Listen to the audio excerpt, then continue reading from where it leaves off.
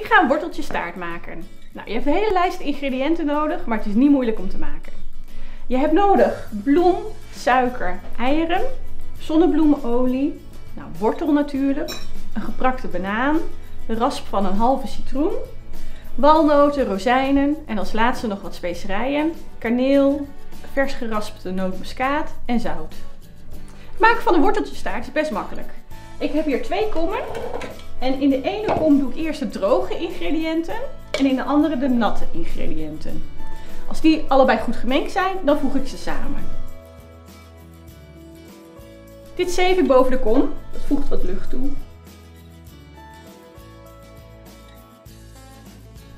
Ik heb de droge ingrediënten samengevoegd. Nu begin ik met de natte ingrediënten.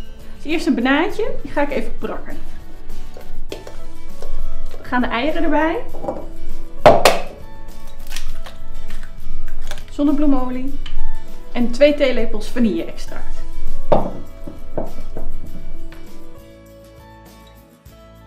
Ik meng nu de natte ingrediënten door de droge ingrediënten. Als laatste doe ik de overige ingrediënten erdoor. Dat is wortel, walnoot en een handjevol rozijnen. En de rasp van een halve citroen ongeveer. Worteltjestaart maak ik soms als één hele grote taart. Um, maar ik maak er ook soms cupcakejes van. En ik heb deze leuke bakvorm. Uh, en dan maak je hele mooie taartjes mee. Doe beslag in de vormpjes. Ze hoeven niet helemaal vol.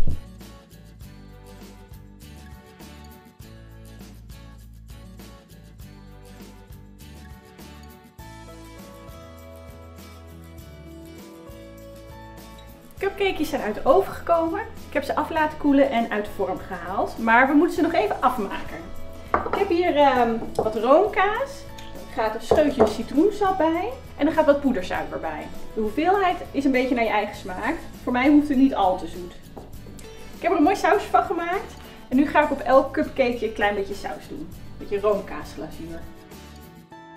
De finishing touch is nog een klein beetje walnoten eroverheen. Een beetje fijn maken.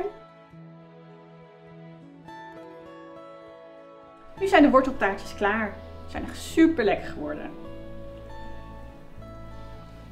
Mm.